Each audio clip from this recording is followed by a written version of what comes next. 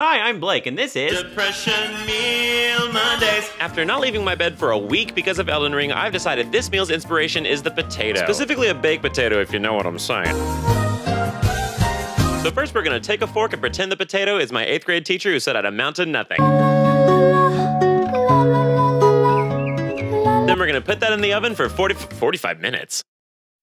Then we're gonna put that in the microwave for eight minutes, and while we wait,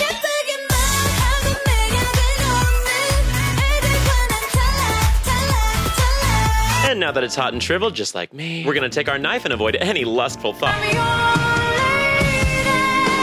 Imagine owning the world's greatest love song. Then song. we're just gonna add some butter, cheese, and bacon, and our final touch. Salt. And for our drink, we're gonna have a Dr. Pepper Zero with an added touch that makes it a little bit better and so much worse. And just like that, another meal done. Bon appetit, you worthless chump. I have never wished for someone to have a sodium overdose more in my life.